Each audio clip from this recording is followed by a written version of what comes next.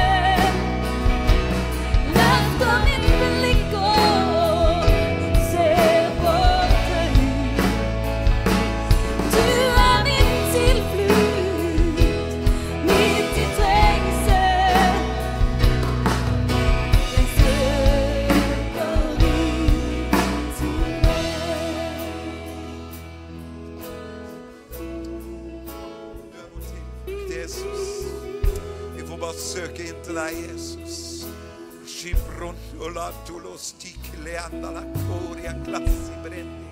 Å, vi priser og takker deg, Jesus. Du er rettferdighetens sol som går opp med legedom under dine vinger. Du er midt iblant oss, Herre, og vi kan ta vår tilflukt hos deg. Midt i trengsler, midt i stormer, midt i gleder. Ja, hva enn møter oss, Herre. Om vi er på høyden eller dalen, så er du der for å føre oss framover og videre inn i ditt seierstog sammen med deg.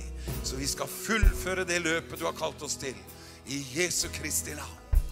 Å, Ramashidlenda. Å, ta det verset det så koret en gang til. Hør, er det ikke en nydelig sang? Lær om ikke du har hørt den før, så kan du lære den. Gjennom storm